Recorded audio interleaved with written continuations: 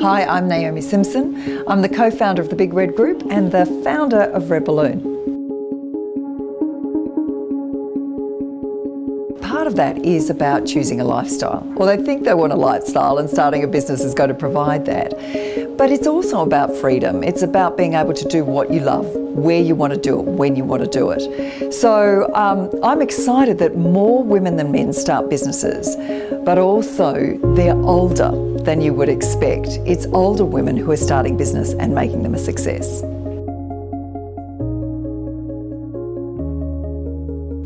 There's actually never been a more challenging time to be in business, but nor a more exciting time. The hardest thing for women, and well, actually all business owners right now, is finding and keeping customers. I don't think really gender is an issue for the starting, but the scaling is another issue. I've really tried to understand why more women don't run bigger businesses, why they don't scale them. And I think that there is a point where they achieve everything they wanted to achieve. And so pushing the dream out, pushing the vision out, if they can't feel they can control everything, they might limit it to what they can see right before them. I'm making mass generalisations, and I'm sure everybody's got some research to prove me wrong, but I would like to see more women running bigger enterprises. I think there is a massive shift in terms of how our Australian community can be global from anywhere. As far as I'm concerned, time is money.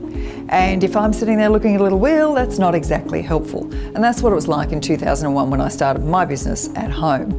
And now we have a circumstance where it doesn't matter where you are, you can connect, and that is truly exciting.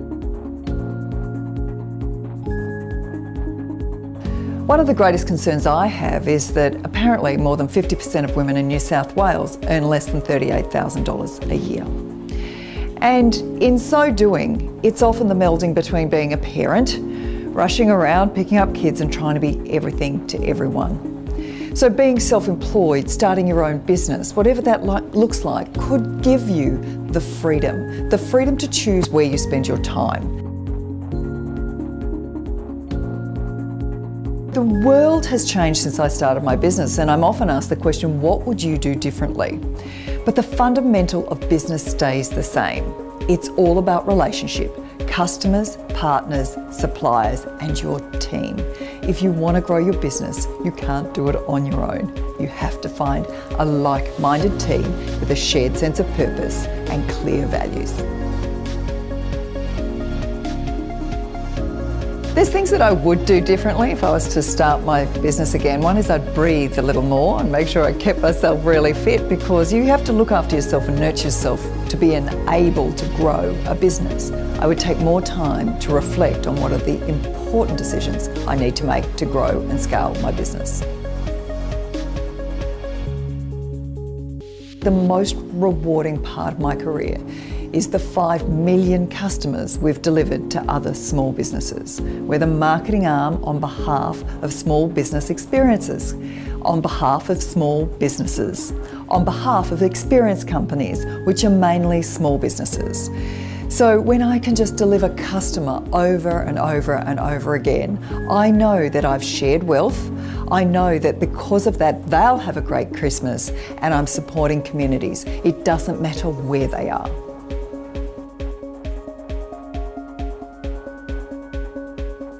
More than anything, we need leadership. We need strong leadership. For me, great leaders, they meld their actions, their words, and their belief. And it comes together and they share that with others and they bring them on their journey. Right now, Australia needs to be competitive. We need to buy Australian. When people are looking at what is competition, my real competition is coming from outside these borders. It's a buy Australian time. Really, we must support each other. Small businesses supporting small businesses in Australia.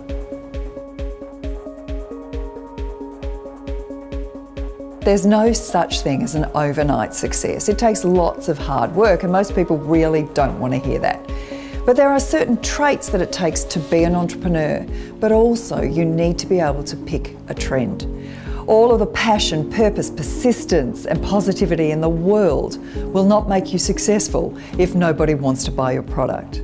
And the world is changing. Being able to see where there's disruption opportunities, the business that nobody else wants to deal in, that's where true greatness lies.